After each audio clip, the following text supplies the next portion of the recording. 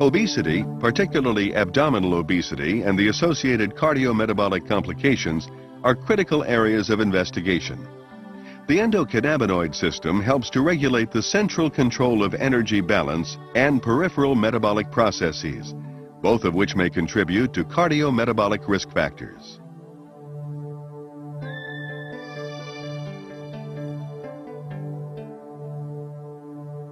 The endocannabinoid system, or ECS, influences multiple physiologic processes. This intricate system modulates energy intake, as well as nutrient transport, metabolism, and storage. The ECS regulates these processes through endogenous ligands, such as anandamide and 2-arachidonyl glycerol, and the CB1 receptor. CB1 receptors are located in the brain, digestive tract, muscle, and adipose tissue. Integration of these central and peripheral ECS components is achieved through neuronal and hormonal signaling.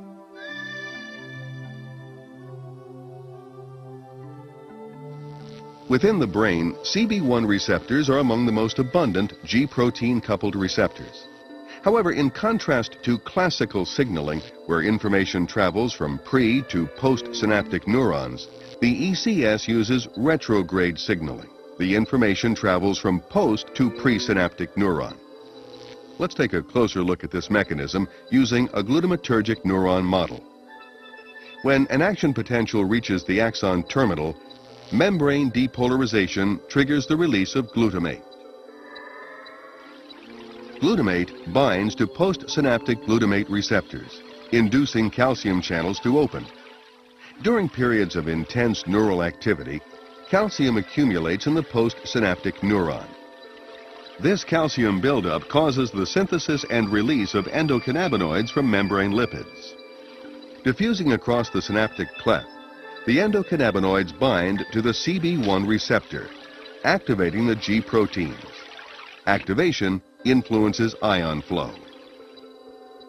The result, suppression of presynaptic neurotransmitter release. Endocannabinoids are subsequently taken back into the cell and enzymatically degraded. In addition to acting as neural messengers, endocannabinoids mediate paracrine and autocrine signaling in adipocytes, hepatocytes, and other cells.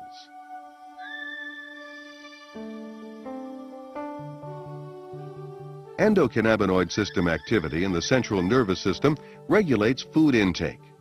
For example, ECS stimulation by hunger and fasting signals stimulates appetite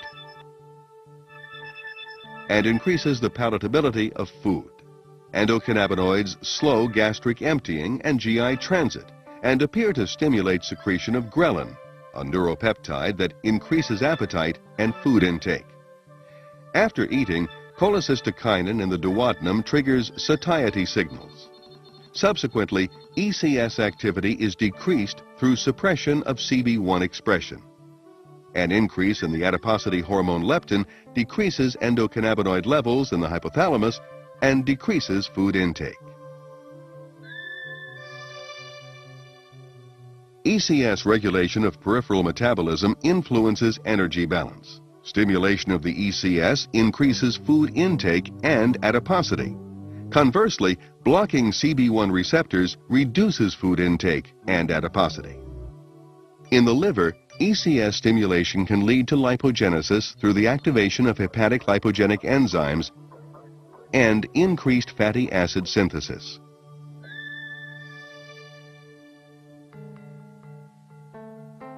Chronic stimulation of the ECS is associated with dyslipidemia.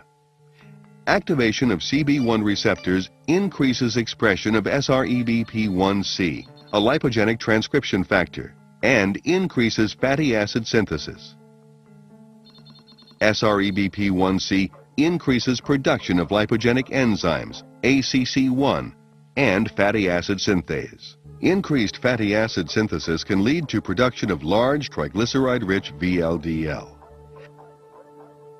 Large triglyceride-rich VLDL sets the stage for the atherogenic lipid profile of small, dense LDL, decreased levels of atheroprotective HDL, and overall increases in cholesterol and triglyceride levels. Adiponectin, another hormone secreted by adipocytes, regulates lipid and glucose metabolism. Adiponectin is believed to regulate fatty acid oxidation in muscle and liver, thus improving insulin sensitivity. CB1 receptor stimulation in adipocytes reduces adiponectin, while CB1 blockade increases adiponectin synthesis. Metabolic dysregulation leads to a constellation of symptoms including abdominal obesity, atherogenic dyslipidemia, hypertension, insulin resistance, prothrombotic state, and pro-inflammatory state. As basic and clinical research progresses, we will continue to increase our understanding of the central and peripheral endocannabinoid system and its role in the regulation of metabolic function.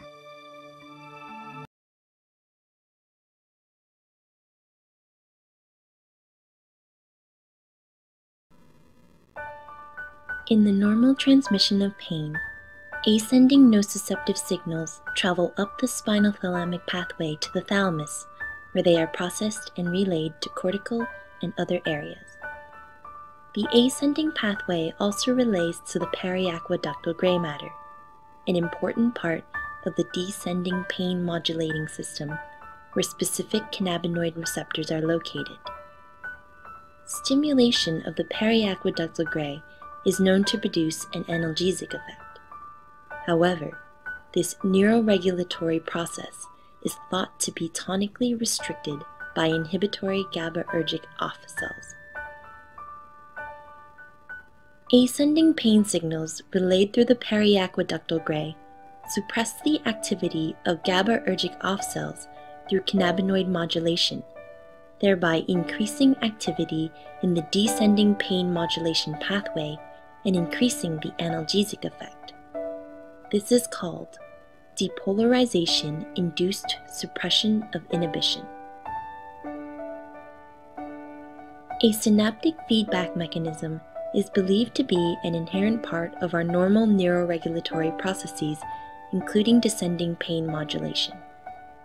In many regions of the CNS, including the periaqueductal gray, the generation of postsynaptic action potentials is modified by an endogenous cannabinoid regulatory system.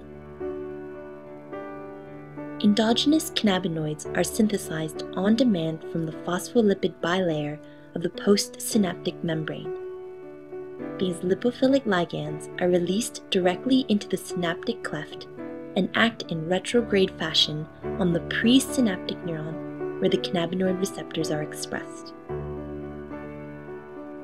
Binding of the endogenous cannabinoids affects intracellular signal transduction pathways, reducing the influx of calcium ions into the presynaptic neuron, causing a decrease in further neurotransmitter release.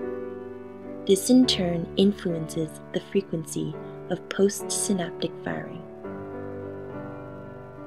The administration of exogenous cannabinoids orally or through inhalation may therefore provide an option for treating pain that has responded poorly to conventional pain therapy.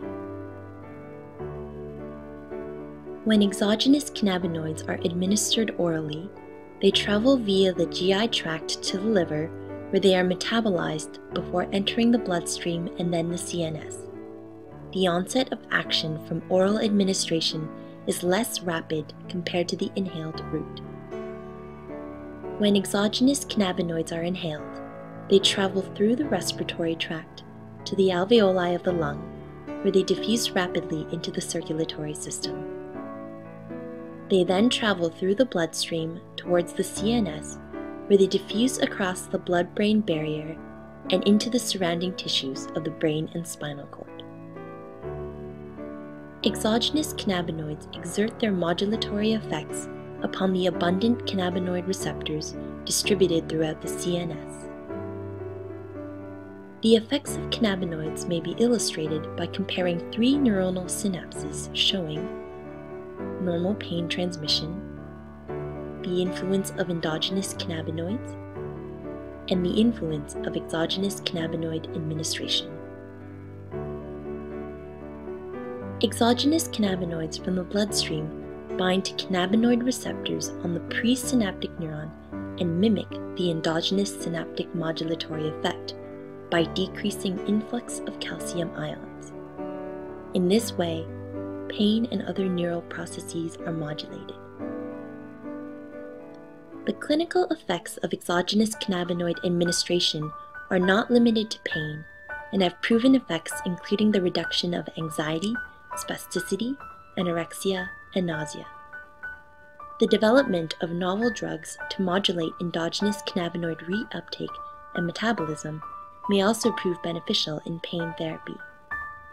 The therapeutic benefits of cannabinoids, including modification of the endogenous cannabinoid signaling system, should be further explored through clinical research.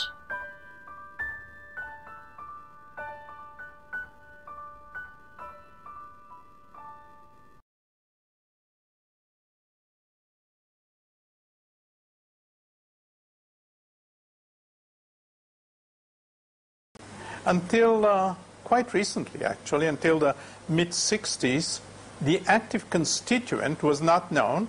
We identified a compound, tetrahydrocannabinol, THC, which is the only one that causes these uh, changes. For many years, it was unknown whether these changes uh, are just a non-specific action of, of THC but in the mid 80s, it was found that there is a receptor in the brain that uh, is acted upon by THC and starts a cascade of reactions which causes the changes that we identify as high. But how come that the brain has a receptor for a plant constituent? After all, uh, the, our brain doesn't have a receptor for every plant constituent, actually doesn't have a receptor for any plant constituent. So we started working on the assumption that maybe there are compounds in the brain that act on this particular receptor, and THC in the plant actually mimics the action of the compounds in the brain. Indeed, about 10, 15 years ago, we were uh, able to isolate two compounds one we called anandamide, and the other is known as 2AG, that stimulate, that bind to this particular receptor, and they start a cascade of reactions that we identify as high. Why do we have that system of receptor, endogenous cannabinoids? Why? I mean, just in order to cause high? No. This is a very important physiological system which is involved in a large number of uh, physiological reactions and in large number of therapeutic reactions. For example, anandamide and 2-AG are involved in neuroprotection.